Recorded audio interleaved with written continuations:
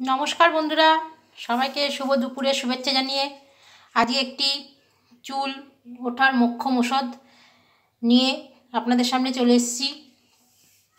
সবারই এই সময় একটু চুল ওঠে, খুশকি পরে, খুশকি হয়, সেগুলো সব দূর হয়ে যাবে, এই রেমেডিটা আপনারা একদিন তৈরি করুন।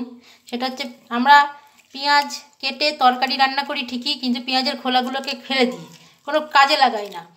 আজকে আপনাদের সামনে একটি সুন্দর ইয়ে চুলের একটা সুন্দর খুশকি বন্ধ করা, চুল ওঠার মোক্ষম ওষুধ আজকে আপনাদের সামনে আমি শেয়ার করতে চলেছি। আপনারাও বাড়িতে শেয়ার করুন, আশা করি আপনাদের ভালো লাগবে। তা, নিয়ে গেছি পেঁয়াজের খোসা, তারপরে দিচ্ছি তেজপাতা, লবঙ্গ। লবঙ্গ চুলকে সিল্কি করতে সাহায্য করে, চুল ওঠা বন্ধ করে, চুলে খুশকি বন্ধ করে, তাই আমি লবঙ্গ দিয়ে দিচ্ছি। দু চারটে লবঙ্গ দিয়ে দিলাম।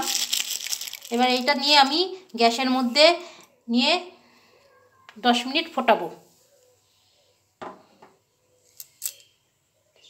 আপনারাও এটা করে দেখুন। আশা করি আপনাদেরও চুল চুলে সিল্কি হবে, চুলোটা বন্ধ হবে এবং কমবে।